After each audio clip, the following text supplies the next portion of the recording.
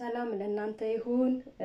በመላው ዓለም የምትገኙ እህቶች፣ ወንድሞች እንዴት ናችሁ? ሰላም ናችሁ ወይ? ሰላማችሁ በሰላሙ ጌታ በክርስቶስ ኢየሱስ ይብዛ እያልኩኝ ዛሬ ወደ እናንተ ይዤላችሁ የቀረብኩት ጽድቅ ወይም የእግዚአብሔር መንግስት መውረስ ሰው የሚጸድቀው በስራ ነው ወይ ወይስ ደግሞ በጸጋ ነው የሚጸደቀው የሚለውን ጥያቄ ለመመለስ ነው ማለት ነው ወደ እናንተ የመጣሁት እና ጽድቅ በስራ ቢሆን ኖሮ ለምን መጽሐፍ ቅዱስ አዲስ ኪዳን አስፈለገ? በአዲስ ኪዳን አፈጻጸም ለምን አስፈለገ? ይህንንም የምንዳስስ ይሆናል ማለት ነው። የመጀመሪያው መነሻ ክፍል የማደርገው ገላትያን መጽሐፍ ቅዱስ ውስጥ ገላትያን መጽሐፍ ምዕራፍ ሁለት ቁጥር ሀያ አንድ እንደዚህ ይላል የእግዚአብሔር ጸጋ የእግዚአብሔርን ጸጋ አልጥልም፣ ጽድቅስ በሕግ በኩል ከሆነ እንኪያስ ክርስቶስ በከንቱ ሞተ። በዚህ ክፍል ነው እንግዲህ የምጀምረው ማለት ነው። በጣም በሰፊ ነው የምናየው። የእግዚአብሔርን ጸጋ ምን አልልም አልጥልም፣ የእግዚአብሔርን ጸጋ አልጥልም። ጽድቅስ በሕግ ቢሆን ኖሮ ክርስቶስ ኢየሱስ በከንቱ ሞተ። ምክንያቱም ሰው በስራ የሚድን ከሆነ መልካም ስራ በማድረግ የሚድን ከሆነ ክርስቶስ ኢየሱስ በከንቱ ነው የሞተው። አምላክ ሰው የሆነው በከንቱ ነው፣ ዝም ብሎ ነው ስራ የፈታው ማለት ነው። በህግ የሚዳን ቢሆን ኑሮ መልካም ስራ በማድረግ ህግን በመጠበቅ የሚዳን የሚጸደቅ ቢሆን ኑሮ ክርስቶስ በከንቱ ነው የሞተው ይላል ገላትያን ጻፊ በእግዚአብሔር መንፈስ ተመርቶ የጻፈው ጳውሎስ ማለት ነው እና እንግዲህ ከዚህ የተነሳ ምን አለ? ህግን ይፈጽም ነበር እሱ ው በጣም ህግን በመፈጸም ራሱን እንኳን ያስተዋወቀበትን ክፍል ታስታውሳላችሁ። እና ምን ልላችሁ ነው? የእግዚአብሔርን ጸጋ አልጥልም። ለምን? የእግዚአብሔር ጸጋ ነው እንጂ የሚያስፈልገኝ በክርስቶስ ኢየሱስ የማገኘው እንዲሁ በጸጋው ነው እንጂ መዳን የምችለው በስራ መጽደቅ ወይም መዳን አልችልም እያለ ነው። እንግዲህ መጽሐፍ ቅዱስ ካለን ምን እንላለን? እኛ ደግሞ የእግዚአብሔር ቃል አማኞች እናደል። የእግዚአብሔር ቃል ያለውን አዎ አለ ብለን አሜን ብለን ነው የምንቀበለው። አዎ አሜን ብለን የምንቀበልነን እንጂ በመጽሐፍ ቅዱስ ላይ ተቃራኒ ሀሳብ ይዘን የምንራመድ ሰዎች መሆን የለብንም ማለት ነው። እግዚአብሔርን እንፈራለን፣ እግዚአብሔርን እንወዳለን የምንል ሰዎች ካለን የክርስቶስ ኢየሱስ ተቃዋሚዎች እንዳንሆን ክርስቶስ ኢየሱስ የሰራውን የጨረሰውን ስራ እንደገና መስራት እንዳያምረን ያንተ ስራ ፍጹም አይደለም ማለት ነው።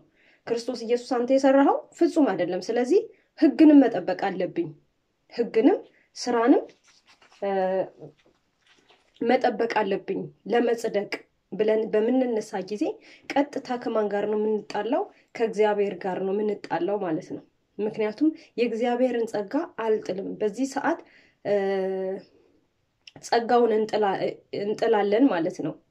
በህግ መጽደቅ ስንፈልግ ጸጋውን እንጥላለን።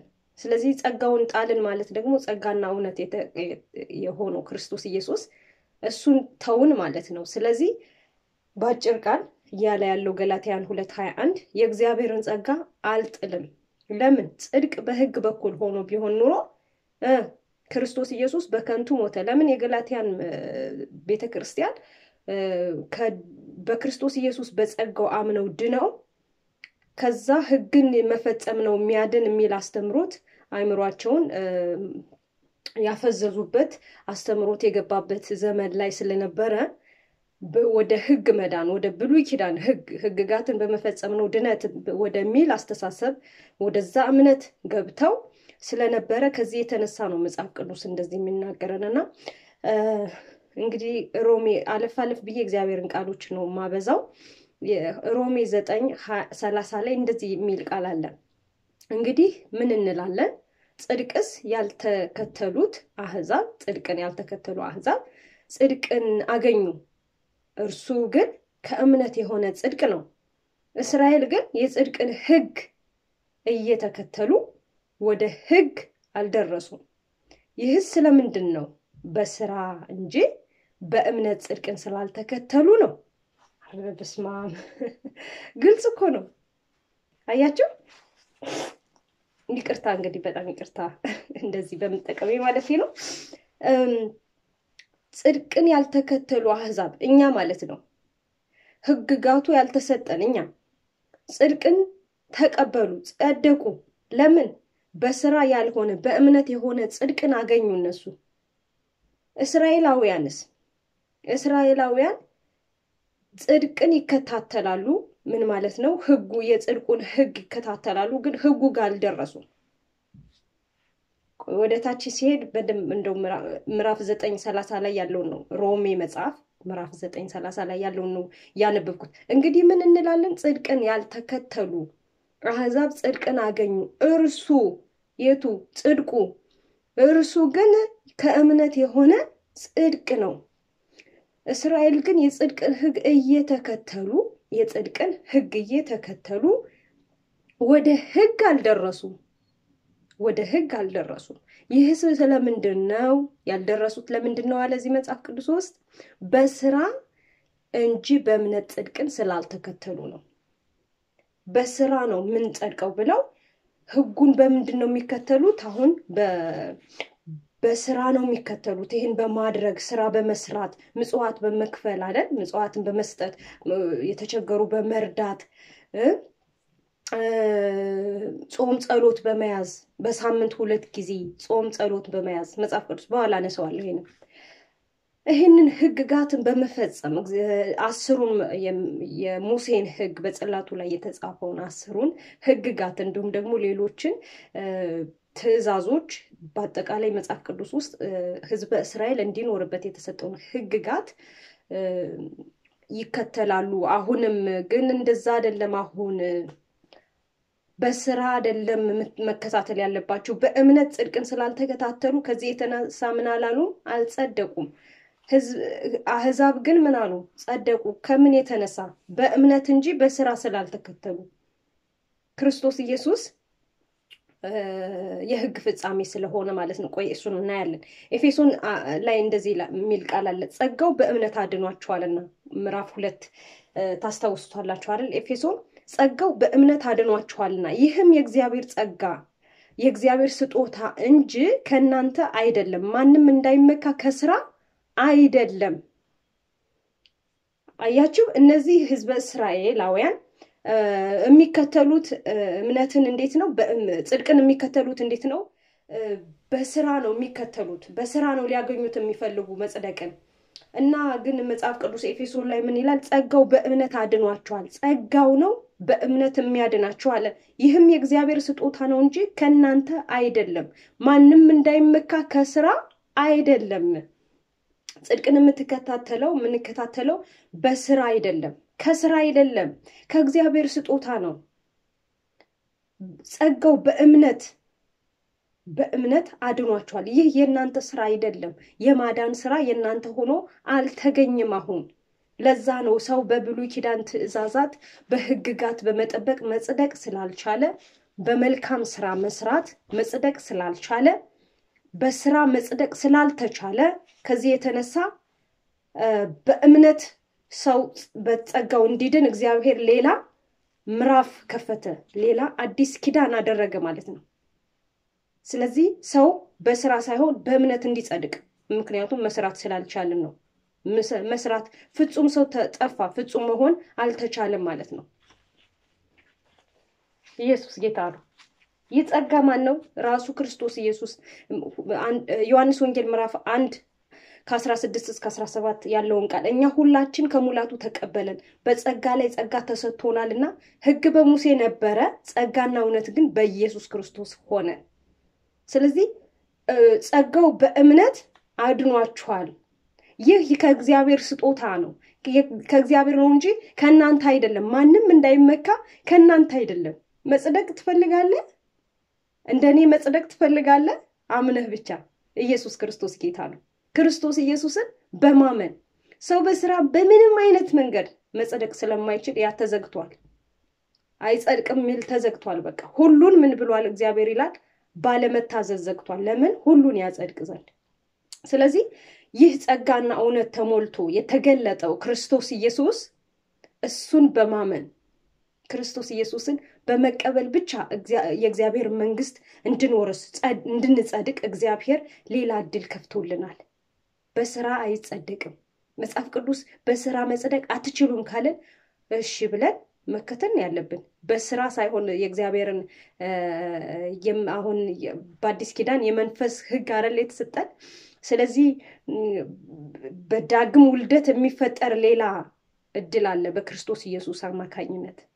ያንን ነው እያለ ያለው። ስለዚህ ሮሜ ስድስት በጣም የእግዚአብሔርን ቃል አበዛለሁኝ፣ ምክንያቱም እኔ አንዴ ተናግሬ ሲሄድ እናንተ ታሰላስላላችሁ በሚል እምነት ነው ማለት ነው። የእግዚአብሔርን ቃል ባበዛ ይሻላል። የእግዚአብሔር ቃል በራሱ የሚሰራ ስለሆነ ማለት ነው። የእግዚአብሔርን ቃል ካለ እንግዲህ የእኔ ቃል ስላልሆነ የእግዚአብሔርን ቃል ነው share ማድረጋችሁ ማለት ነው ያ የእግዚአብሔርን ቃል ስትሰማ ለእግዚአብሔር ቃል ካልተገዛ የኔ ቃል challenge ሊያደርግህ አይችልም። የኔ ቃል እንትን ሊልህ አይችልም፣ ሊለውጥህም አይችልም። የእግዚአብሔር ቃል ግን በሕግ መጽደቅ አትችልም ብሎ ካለህ እንዴ እንደዚህ ይላል እንዲህ ብለህ መንቃት ነው ያለብህ፣ ወይ መንቃት ነው ያለብሽ አይደል? እንዴ መንቃት ነው ያለብን። እኛም የጸደቅን እንደገና እንደ ገላትያን ሰዎች አዚም እንዲደረግብን መፍቀድ የለብንም። በስራ መጽደቅ እንደሚቻል አስተሳሰብ ውስጥ እንዳንገባ ሁልጊዜም ጸጋው በእምነት እንዳዳንን እንድናስብና በዚህ እንድንበረታ ያደርገናል ማለት ነው። የእግዚአብሔር ቃል ሮሜ ስድስት ከሀያ እስከ ሀያ ሶስት ያለ ቃል አነባለሁ። የኃጢአት ባሪያዎች ሳላችሁ ከጽድቅ ነፃ ነበራችሁና የኃጢአት ባሪያዎች ሳላችሁ ከጽድቅ ነፃ ነበራችሁና እንግዲህ ዛሬ ከምትከተሉት ነገር ያን ጊዜ ምን ፍሬ ነበራችሁ? የዚህ ነገር መጨረሻው ሞት ነውና፣ አሁን ግን ከኃጢአት አርነት ወጥታችሁ ለእግዚአብሔርም ተገዝታችሁ ልትቀደሱ ፍሬ አላችሁ። አሜን ሃሌሉያ። መጨረሻውም የዘላለም ሕይወት ነው። የኃጢአት ደሞዝ ሞት ነውና የእግዚአብሔር የጸጋ ስጦታ ግን በክርስቶስ ኢየሱስ በጌታችን የዘላለም ሕይወት ነው። የእግዚአብሔር ምን የጸጋ ስጦታ ቅድም ኤፌሶን ላይ ምን ብለናል? አሁን ያነበብኩት ክፍል ሮሜ ስድስት ያለ ክፍል ነው። ከሀያ እስከ ሀያ ሶስት ሶስት ቁጥር ውስጥ ያለ ነው እና ምን ይላል? የእግዚአብሔር የጸጋ ስጦታ በክርስቶስ ኢየሱስ በጌታችን የዘላለም ሕይወት ነው። አሜን።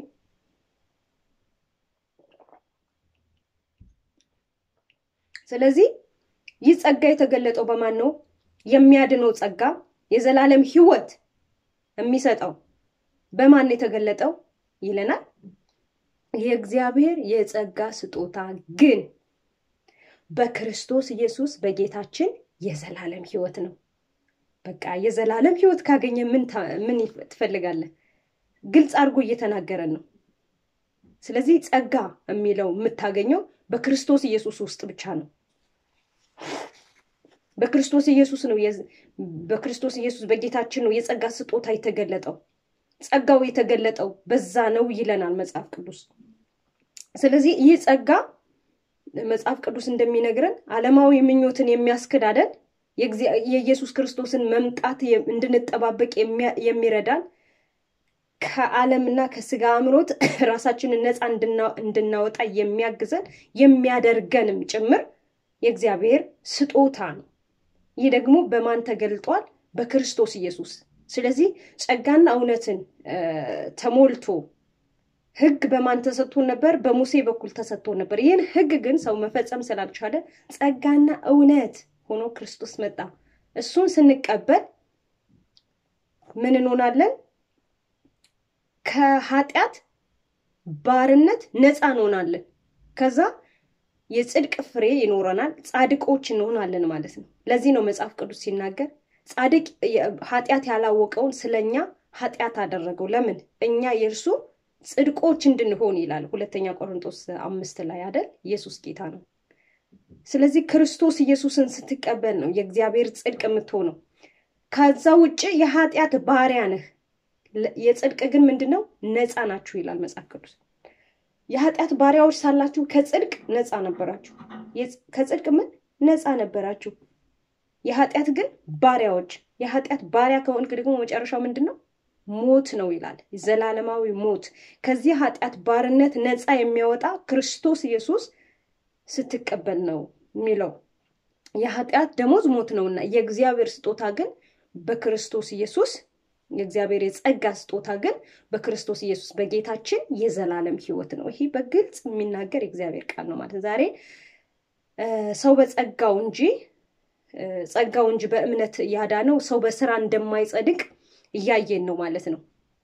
አንደኛ ቆሮንጦስ አንድ ላይ እንደዚህ የሚል ቃል አለ ከሀያ ዘጠኝ ጀምሮ ስጋን የለበሰ ሁሉ በእግዚአብሔር ፊት እንዳይመካ ነገር ግን የሚመካ በእግዚአብሔር ይመካ ተብሎ እንደተጻፈ ይሆን ዘንድ ከእግዚአብሔር ዘንድ ጥበብና ጽድቅ ቅድስናም ቤዛነትም በተደረገው በተደረገልን በክርስቶስ ሃሌሉያ ኢየሱስ የሆናችሁ ከእርሱ ነው ይላል። ምን ምን የሆናችሁ ጥበብና ጽድቅ ቅድስና ቤዛነትን በተደረገልን ጥበብ፣ ጽድቅ፣ ቅድስና፣ ቤዛነት በተደረገልን በማን በክርስቶስ ኢየሱስ የሆናችሁ ከእርሱ ነው። ከእርሱ የተነሳ ነው። ከክርስቶስ ኢየሱስ የተነሳ ነው። ከእግዚአብሔር መልካም ስጦታ የተነሳ ነው ቤዛነትን ያገኘ ነው። ጥበብ፣ ጽድቅ፣ ቅድስናን ያገኘ ነው። ከዚህ የተነሳ ነው እንጂ ሰው ምን አለ? ማንም እንዳይመካ ከስራ አይደለም የሚመካ በማን ይመካ? በእግዚአብሔር ይመካ ይለናል መጽሐፍ ቅዱስ። ለምን? እግዚአብሔር ነው ማጽደቅ የሚችለው ሰውን በፈቃዱ ማጽደቅ የቻለው እንጂ ሰው በስራ ሕግን በመጠበቅ ፈጽሞ መጽደቅ አይችልም። ፈጽሞ ሮሚ አስር ላይ ይሄ ሕግ ሕጉን በእርግጥ ሕጉ ለምንድን ነው ነቀፌታ አለው ወይ ወይ ደግሞ ምንድን ነው ሕጉን በመጠበቅ ውስጥ ሕይወት አይገኝም ወይ ካላችሁኝ፣ አዎ ፍጹም ሕጉን ከጠበቅ ሕይወት ይገኛል። ሕይወት የሚሰጥን ቃል ተቀበለልን ይላል መጽሐፍ ቅዱስ ሮሜ ሐዋርያ ስራ ምዕራፍ ሰባት አይደል እስጢፋኖስ ሲተርክ ሕይወት የሚሰጥ ከእግዚአብሔር ዘንድ የተቀበለው ሕጉ በራሱ ለሚጠብቀው ለሚያደርገው ሕይወት የሚሰጥ ሕግ ነው። ሕይወት የሚሰጥ የእግዚአብሔር ቃል ነው። የእግዚአብሔር ትእዛዝ ነው። ግን ሰው ደካማ ነው። ሰው በራሱ የእግዚአብሔርን ትእዛዝ መጠበቅ አይችልም። ከዚህ የተነሳ ክርስቶስ ኢየሱስ ታስታውሳላችሁ፣ ከሕግ አንዲት ነጥብ እንኳን አትጠፋም አለ፣ አታልፍም አለ። ሁሉንም ሕግን ልሽር ሳይሆን ልፈጽም ነው የመጣው አለ። ክርስቶስ ኢየሱስ ሁሉንም ነው ሕግ የፈጸመው ሁሉን ፍጹም የሆነ አምላክ ፍጹም የሆነ ሰው ሆኖ የተገለጠው ክርስቶስ ኢየሱስ ሁሉን በመፈጸሙ ምክንያት እኔ አሁን ክርስቶስ ኢየሱስን ስቀበል ሕግጋትን ሁሉ እንደፈጸምሁ ይቆጠርልኛል ማለት ነው። አሜን። በክርስቶስ ኢየሱስ ውስጥ ነው የማገኘው። ኢየሱስ ጌታ ነው። እግዚአብሔር ጻድቅ አምላክ ስለሆነ ስለዚህ ሮሜ አስር ከአንድ እስከ አራት የምታውቁት ቃል ነው በብዛት እንደዚህ ይላል። ወንድሞች ሆይ የልቤ ፈቃድ ስለ እስራኤል ወደ እግዚአብሔር ልመናዬ እንዲድኑ ነው።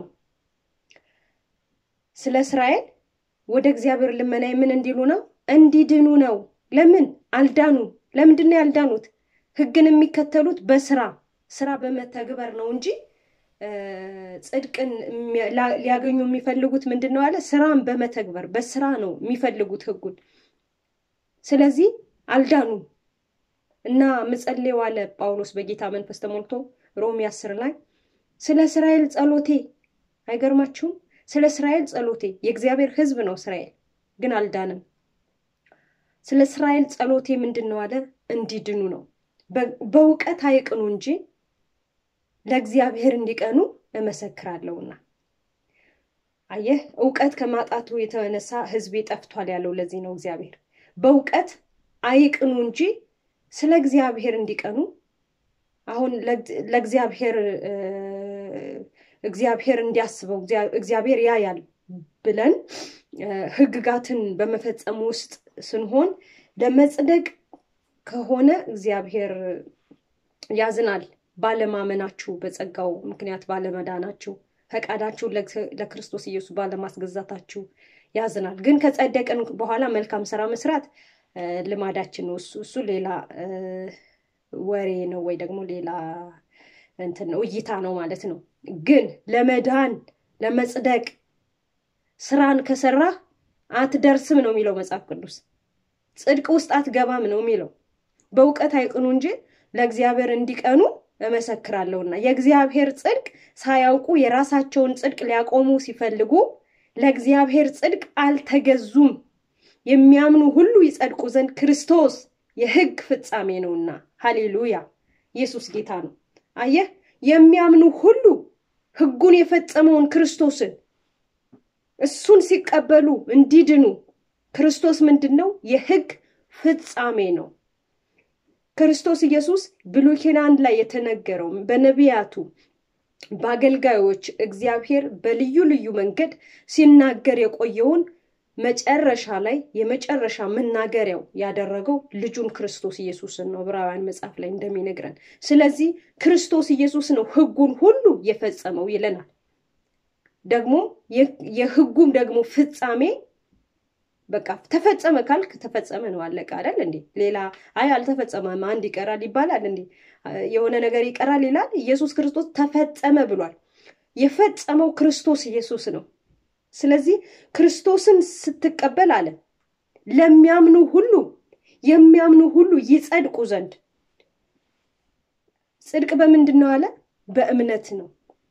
የሚያምኑ ሁሉ ይጸድቁ ዘንድ ክርስቶስ ኢየሱስ የሕግ ፍጻሜ ነውና። ስለዚህ ሕግን የምትከተለው በእምነት እንጂ ክርስቶስ ኢየሱስን በማመን ውስጥ እንጂ የእግዚአብሔርን መንግስት መኖር የምትችለው መጽደቅም የምትችለው የሚያምኑ ሁሉ ይጸድቁ ዘንድ የሕግ ፍጻሜ ክርስቶስ ኢየሱስ ነው ስለሚል ስለዚህ ክርስቶስ ኢየሱስን በመቀበል ውስጥ ነው ማለት ነው ዋናው የጽድቅ መንገዱ መጽሐፍ ቅዱስ የሚነግረን። ለምን እንደዛ የማይቀበሉት ለምንድን ነው? በስራ መጽደቅ የሚፈልጉት ሰዎች መልካም ስራ ይሰራሉ፣ ምጽዋት ያደርጋሉ፣ ጾም ጸሎት ይይዛሉ፣ ለመጽደቅ ለመጽደቅ የዘላለም ሕይወት ለማግኘት ነገ ወደ ገሃነም እንዳይገቡ ነገ ወደ ትሉ ወደማይንቀላፋበት እሳቱ ወደማይጠፋበት ጥርስ መፋጨት ወዳለበት ወደዛ ገሃነም እሳት እንዳይገቡ ሰዎች ምን ይላሉ? ይጾማሉ፣ ይጸልያሉ፣ ምጽዋት ይሰጣሉ፣ የተራቡትን ያበላሉ ለመጽደቅ እሱም ማድረግ አትችልም። መጽደቅ አትችልም። በአጭር ቃል ዛሬ እንደ እግዚአብሔር ቃል የምነግርህ ነገር ቢኖር እንደሱ በማድረግህ መጽደቅ አትችልም። መዳንም አትችልም። ነፍሴ የሚድነው ክርስቶስ ኢየሱስን ስትቀበል ነው። እንደዛ ሲያደርጉ የራሳቸውን ጽድቅ ሲያቆሙ ይላል። የራሳቸውን ስራ የራሳቸውን መልካም የሆነ እግዚአብሔር በዚህ መንገድ ነው የሚገኘው፣ ስራ በመስራት ነው የሚገኘው፣ ስራ በመስራት ምጽዋት በመክፈል በዚህ ነው እግዚአብሔር የሚገኘው ብለው የራሳቸውን ጽድቅ ሊያቆሙ ሲወዱ ለእግዚአብሔር ጽድቅ መገዛት ተስኗቸዋል። ለምን? እግዚአብሔርን የሚከተሉት ወይም የሚፈልጉት በምንድን ነው? በእምነት ሳይሆን በስራ ነው። እግዚአብሔር ደግሞ ደስ አይለውም ያለ እምነት እግዚአብሔርን ደስ ማሰኘት ስለማይችል የእግዚአብሔር ቃል እንደሚናገር። ስለዚህ በእምነትህ ክርስቶስ ኢየሱስን አምነህ ተቀብለህ ነው ህይወት የሚጀመረው ነው አዲስ ኪዳን የሚጀመረው። አዲስ ኪዳን የሆነው ራሱ እኮ በልጁ በክርስቶስ ኢየሱስ ደም ምክንያት ነው። በክርስቶስ ኢየሱስ ደም መፍሰስ ምክንያት ነው። ይህ ስለ አዲስ ኪዳን የሚፈስ ደሜ ነው ነው ያለው ኢየሱስ። ስለዚህ በዚህ ነው የምትጀምረው ህይወት እንጂ ስራ በመፈጸም አይደለም። አትጸድቅም እንኳን ልትጸድቅ ምንም የትም ምንም አይነት ነጥብ አይሰጥህም። ለጽድቅ ማለት ነው። ለጽድቅ እግዚአብሔርን ደስ ልታሰኝ አትችልም። የቆርኔሌዎስን ታሪክ ታውቃላችሁ። እሱን በኋላ ላይ ተርካለሁ መጨረሻ ላይ እሱ ምን እንደሆነ ማለት ነው። እሺ ስለዚህ ሙሴ ከህግ የሆነው ጽድቅ የሚያደርገው ሰው በእርሱ በህይወት እንዲኖር ጽፏልና ይላል። አያቸው የሚያደርገው ህጉን የሚያደርገው ነው በህይወት የሚኖረው እንጂ ስለዚህ ህጉን ማድረግ ተስኖናል ማለት ነው መጽሐፍ ቅዱስ እንደሚናገር። ስለዚህ ህጉን የፈጸመውን ክርስቶስ ኢየሱስን በመቀበል የዘላለም ህይወት ማግኘት እንጂ ስራ በመስራት እግዚአብሔር መከተል በፍጹም በእግዚአብሔር ዘንድ ይህን ቃል ስናገር አላፍርም፣ አስጸያፊ ነው። እሺ ገላትያን መጽሐፍ ሶስት ሀያ አንድ ላይ እንደዚህ የሚል ቃል አለ። እንግዲህ ህግ የእግዚአብሔርን የተስፋ ቃል የሚቃወም ነውን? ነው እንዴ? አይደለም፣ አይደለም። ህግ የእግዚአብሔርን የተስፋ ቃል እንደውም የተስፋውን ቃል እኮ የነገረን የእግዚአብሔር ቃል በህጉ በኩል ነው። የተስፋው ቃል የሆነው የመጨረሻው የተስፋ ቃል ክርስቶስ ኢየሱስን እንደሚመጣም ያወራን እንደዛው ነው እና ምን ይላል እንግዲህ ሕግ የእግዚአብሔርን የተስፋ ቃል የሚቃወም ነውን? አይደለም። ሕያው ሊያደርግ የሚቻለው የሚችለው ሰው ሕግ ተሰጥቶ ቢሆንስ በእውነት ጽድቅ ከሕግ በሆነ ነበረ። ሕያው ሊያደርግ የሚቻል ሕግ ተሰጥቶ ቢሆንስ በእውነት ጽድቅ ከሕግ በሆነ ነበር። ነገር ግን በኢየሱስ ክርስቶስ በማመን የሆነ የተስፋ ቃል ለሚያምኑ ይሰጥ ዘንድ መጽሐፍ ከኃጢአት በታች ሁሉን ዘግቶታል። እምነትም ሳይመጣ ሊገለጥ ላለው እምነት ተዘግተን ከሕግ በታች እንጠብቅ ነበረ። እንዲህ በእምነት እንጸድቅ ዘንድ ሕግ ወደ ክርስቶስ የሚያመጣ ሞግዚታችን ነው። ዋው! የእግዚአብሔር ቃል እኮ ነው እንደዛ የሚለው እናንተ። ሕግ ወደ ጽድቁ የሚያመለክተን ወደ ክርስቶስ ኢየሱስ የሚያመለክተን ነው እንጂ ሞግዚታችን ነው እንጂ አሁን እኔ ልጆች አሉኝ፣ ሁለት ልጆች አሉኝ። ጌታ ይባረክ እና የኔ ለምሳሌ ሞግዚት ብቀጥር ሞግዚቷ ቀን ስትጠብቅ ስትጠብቅ ቆይታ ልጆችን ስትንከባከብ ቆይታ ወደ እኔ ነው ማምጣት ያለባት አይደል? እንዴ ልጅሽ ነው ምናምን ይባላል አልላትም። ዋናዋ እኔ ያለዋ እናቲቱ አለው ገባህ? ስለዚህ ይሄ ህጉ ምንድን ነው? ሞግዚት ነው። ወደ ማን የሚያመጣ ክርስቶስ ጋር ካመጣ በኋላ አለቀ። በቃ እስከዛ ድረስ ነበር ስራው። ያኔ አክትሟል አክትሟል። ስለዚህ አሁን በምንድን ነው እንዲህ እንደዚህ በእምነት እንጸድቅ ዘንድ ህግ ወደ ክርስቶስ የሚያመጣ ሞግዚታችን ነው። እንግዲህ በእምነት እንጸድቅ ዘንድ ህግ ምንድን ነው የሚለው? ለሚሰራው ስራ ነው የሚለው። አድርግ አታድርግ፣ ይህም ብታደርግ በረከት ያገኛል፣ ካላደረግ እርግማን ያገኛል። አድርግ አታድርግ ነው፣ ስራ ነው ህግ። ስለዚህ ህግ ወደ በእምነት እንድንጸድቅ በእምነት እንጸድቅ ዘንድ ህግ ወደ ክርስቶስ የሚያመጣን ምናችን ነው? ሞግዚታችን ነው። ስለዚህ ክርስቶስ ጋር አልደረሳችሁም ወይ እናንተ? ክርስቶስ ጋር ከደረሳችሁ በቃ በእምነት መጽደቅ ነው በቃ መጨረሻው። ክርስቶስን ጋር ስትገናኝ ሌላ ለመጽደቅ ስራ አትሰራም። ሙሉ የፈጸመውን ህጉን የፈጸመውን ከህግ አንዲት ቃል ሳትአልፍ ሙሉውን የፈጸመውን ክርስቶስ ኢየሱስን የተቀበልክ ዕለታ ያኔ ምን ትሆናለህ? ጻድቅ በእግዚአብሔር ፊት ፍጹም ጻድቅ ሁነህ ትታያለህ ማለት ነው እንጂ ህግን በመፈጸም መቼውም አትጸድቅም። ስራን በመስራት ምጽዋት በማድረግ መቼውም አትጸድቅም ይልሃል መጽሐፍ ቅዱስ። ይህንን አምኜ ነው እፎይ ብዬ የተገላገልኩትና የዘላለም ህይወት እንዳለኝ አምኜ ተስፋዬን ክርስቶስ ኢየሱስን የምጠባበቀው። ሃሌሉያ! ኢየሱስ ጌታ ነው።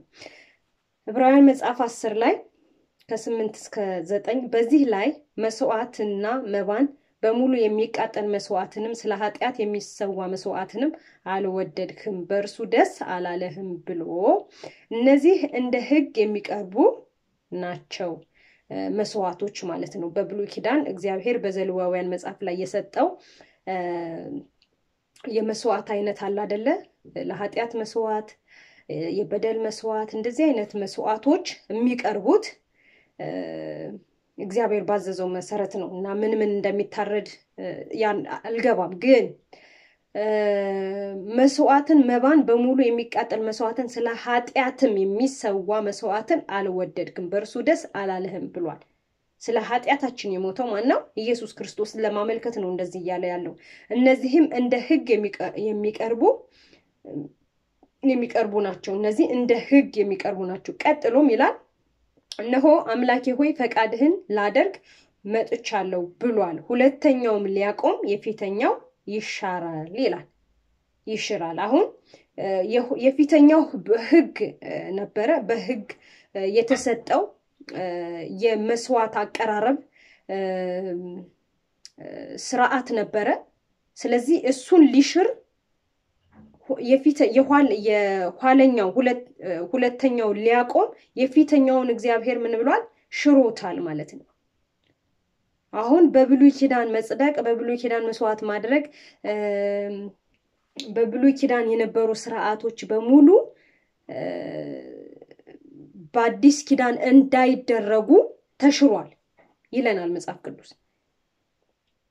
አሁን ሌላ ቁሟል፣ ሌላ ኪዳን ቁሟል፣ ሌላ ሁለተኛ ኪዳን ቁሟል። አዲስ ኪዳን ብሉይ ኪዳን የመጀመሪያው ኪዳን ነው።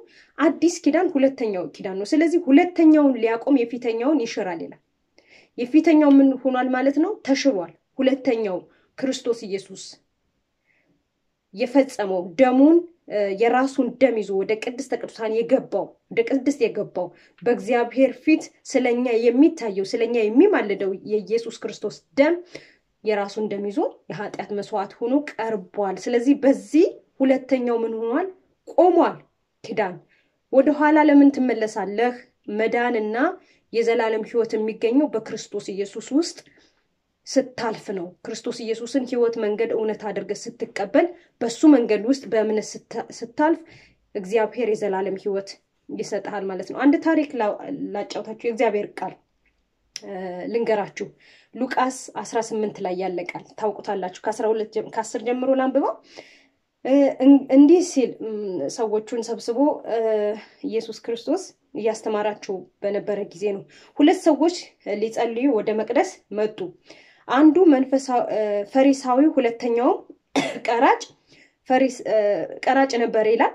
ፈሪሳዊም ቆሞ በልቡ ይህን ሲጸልይ እግዚአብሔር ሆይ በልቡ እንደዚህ ጸለይ፣ እግዚአብሔር ሆይ እንደ ሌላ ሰው ሁሉ ቀማኛና አመፀኛ አመንዝራም ወይም እንደዚህ እንደዚህ ቀራጭ ስላልሆንኩ አመሰግንሃለሁ። ለምን ወደ መቅደስ የቀረቡት እነማን ናቸው? ወደ መቅደሱ የመጡት ቀራጩና ፈሪሳዊ ነው። ፈሪሳዊ በልቡ ወደ እግዚአብሔር ሲጸልይ ምን ይላል? እንደዚህ ሰው እንደዚህ ቀራጭ ስላልሆንኩ አመሰግንሃለሁ። አያቸው፣ መንፈሳዊ ይመስላል። ቀማኛ ስላልሆንኩኝ፣ አመፀኛ ስላልሆንኩ፣ አመንዝራ ስላልሆንኩ ወይም ደግሞ እንደዚህ ቀራጭም ስላልሆን ቀራጮች ኃጢአተኛ እንደሆኑ አይደለም የሚታየው እና ስላልሆንኩ አመሰግንሃለሁ ብሎ ጸለየ። እንደዚህም አለ ደግሞ በየሳምንት ሁለት ጊዜ እጦማለሁ፣ ከማናቸውም ሁሉ አስራት አወጣለሁ።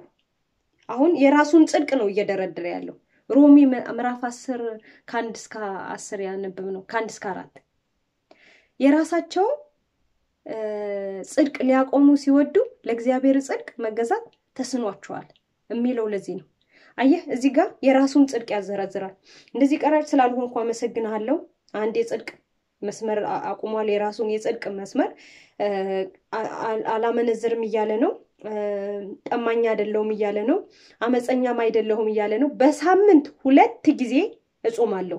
እንግዲህ ሮብና ርብ ይሁን ምን ይሁን አላውቅም፣ ግን የሚለው ሰውየው ሁለት ጊዜ እጾማለሁ፣ በሳምንት ሁለት ጊዜ እጾማለሁ፣ አስራትም እከፍላለሁ። ስለዚህ እንደዚህ ስላደረኩኝ የራሴ ጽድቅ ስላለኝ ምን እላለሁ? አመሰግናለሁ። አያቸው እንትን ይመስላል አይደል? እግዚአብሔር የሚቀበለው ጸሎት አይነት ይመስላል ሲታይ። ቀራጩ ግን በሩቅ ቆሞ ዓይኖችን ወደ ሰማይ ሊያነሳ እንኳን አልወደደም። ነገር ግን አምላኬ ሆይ እኔን ኃጢአተኛውን ማረኝ እያለ ደረቱን ይደቃ ነበረ። እላችኋለሁ ከዚህ ይልቅ ይህ ጻድቅ ሆኖ ወደ ቤቱ ተመለሰ። ራሱን ከፍ የሚያደርግ ሁሉ ይዋረዳልና ራሱን ግን የሚያዋርድ ከፍ ይላል ይላል ኢየሱስ ክርስቶስ። ከዛ ይልቅ የኛው እኔ ኃጢአተኛ ነኝ ማረኝ ብሎ የጸለየው ጻድቅ ሆኖ ተመለሰ። ኢየሱስ ክርስቶስ እየተናገረ ያለው ሕግን በመፈጸም አትጸድቅም፣ በምህረት ነው እያለ ነው። በምህረት ነው። እውነትና ምህረት ተስማሙ። ኢየሱስ ክርስቶስ ጌታ ነው። በምህረት ነው የምትጸድቀው እንጂ ሕግን በመፈጸም አይደለም። ፈሪሳዊ የራሱ የሆነ ሃይማኖታዊ ስለሆኑ የእግዚአብሔርን ሕጉን መጽሐፍም ጠንቅቀው ስለሚያውቁ እነሱ ምን ይላሉ? ይህን እንደዚህ ቀራጭ ስላልሆንኩኝ አመሰግናለሁ። የራሱን ጽድቅ አቁሟል። በሳምንት ሁለት ይጾማለሁ፣ አስራት ከፍላለሁ፣ ከማገኘው ሁሉ አስራት ከፍላለሁ እያለ ምን ይላል? የራሱን ጽድቅ ያቆማል። ኃጢአተኛውስ ምን አለ? ቀራጩ ምን አለ? እኔን ዝም ብለህ ማረኝ በቃ። አሜን። ኢየሱስ ጌታ ነው። እስኪ ልንገራችሁ፣ በሳምንት ሁለት ያትጾሙ በህግ ልትጸድቁ የምትፈልጉ ሰዎች ገዳም አትሄዱ? እግዚአብሔርን መፈለግ የሆነ የሆነ ቦታ አትሄዱ? እስኪ ልጠይቃችሁ፣ ምንም ስራ ምጽዋት አትከፍልም? ድሃ እንትን አትልም? ድሃዎችን አትረዳም? ይህንን ለመጽደቅ ለመዳን የዘላለም ህይወት ለማግኘት ስታደርገው ምን ያክል ኪሳራ ውስጥ ና negative ውስጥ ናችሁ። እህሳም ከጸደቅን በኋላ የጻድቅ ሰው ስራ አለ። እንደ እግዚአብሔር ቃል የሆነ የጻድቅ ሰው ስራ አለ። እሱን ስለ ጸደቅን እንጂ መልካም የምናደርገው በአዲስ ኪዳን ክርስቶስ ኢየሱስን ከተቀበልን በኋላ የእግዚአብሔር መንፈስ እንደሚመራን መልካም ማድረግ ባለብን ነገር የምናደርገው ስጡ ሲለን የምንሰጠው የጌታን መንፈስ ተከትለን የእግዚአብሔር ልጆች በእግዚአብሔር መንፈስ ይመራሉ ስለሚል የእግዚአብሔር መንፈስ እንደመራኝ ስለሆነ የማደርገው እኔ። ስለዚህ የምናደርገው እንደ እግዚአብሔርም ቃል የእግዚአብሔር መንፈስ ከመራህ እንደ እግዚአብሔር ቃል ነው የሚመራ። ስጋ ከመራህ እንደ እግዚአብሔር ቃል ማትሆነው። የእግዚአብሔር መንፈስ የእግዚአብሔር ቃል ደራሲ ስለሆነ ኢየሱስ ጌታ ነው። እሱ የእግዚአብሔር መንፈስ እኛ ስጋችን ጋር ያደረ የእግዚአብሔር ቤተ መቅደሶች ነን እኛ በክርስቶስ ኢየሱስ ዳግም የተወለድን። ስለዚህ ይህ ሰው ምን አለ ይላል። ይችን ሀሳብ ልጨርስ። መጀመሪያ ራሱን ዝቅ አድርጎ ወደ ሰማይ እንኳን ሳይመለከት ጌታ ሆይ እኔን ማረኝ፣ በቃ ዝም ብለህ ማረኝ። ኢየሱስ በምህረት እንደሚገባ እንጂ በስራ እንደማይገባ እየተናገረ ነው። ሮሜ 11 32 ላይ ታስታውሳላችሁ። እግዚአብሔር ሁሉን ይመር ዘንድ ሁሉን ባለመታዘዝ ዘጋ ይላል። ሁሉን ምን አለ? ዘግቷል። በቃ አይታዘዙም በሚል ማህተም ተዘግቷል። ለምን? ሁሉን እንዲምር ምህረቱ የተገለጠው በማን ነው? በክርስቶስ ኢየሱስ አማካኝነት ነው። ክርስቶስ ኢየሱስ ነው ስለ ዓለም ኃጢአት የታረደው የእግዚአብሔር በግ ሆኖ የተገለጠው የእግዚአብሔር ልጅ ኢየሱስ ክርስቶስ እርሱ ከኃጢአታችን ሁሉ የሚያነጻ የሚቀድስ ሃሌሉያ። ስለዚህ በምህረት በእግዚአብሔር ምሕረት ጸጋው እንዲሁ እግዚአብሔር ዓለምን እንዲሁ ወዷልና ይላል። እንዲሁ ምንም ያስወድድ ኖሮን አይደለም። እንዲሁ ወደደን፣ እንዲሁ ማረኝ አለ። ይሄ እንዲሁ በቃ ዝም ብለህ ማረኝ ጌታ ሆይ ማረኝ ማረኝ አለ። በቃ ማረኝ። ለምን ይሄ ጽድቁን ሲደረድር እሱ ምናልባትም አንድም የሌለበት ይሆናል እንግዲህ በእርግጥ በልቡ ነው የጸለየው። ግን ፈሪሳዊው ሲታይ ፈሪሳውያን ምን እንደሚያደርጉ የታወቀ ነገር ነው። እሳ የእምነታችን ጀማሪና ራስ የሆነውን ክርስቶስ ኢየሱስን በመመልከት እሱን በማወቅ እሱን በመከተል መጽደቅ ብቻ ነው የሚቻለው። ታስታውሳላችሁ የቆርኔሌዎስን ታሪክ ሐዋርያ ስራ ምዕራፍ አስር ላይ ያለ ክፍል ነው አይደል? አዎ ይሄ ቆርኔሌዎስ ጸሎት ይጸለያል፣ ምጽዋት ይሰጣል። እግዚአብሔርን በየሰዓቱ እየጸለየ ባለበት አንድ ቀን የዘጠኝ ሰዓት ጸሎት እየጸለየ ሳለ መልአክ ተገለጠለት። ወደ ቤቱ መልአክ መጣ። መልአክ መጥቶ ምን እንዳለው ታውቃላችሁ? በቃ አንተ ምጽዋትህ ምን ብሏል?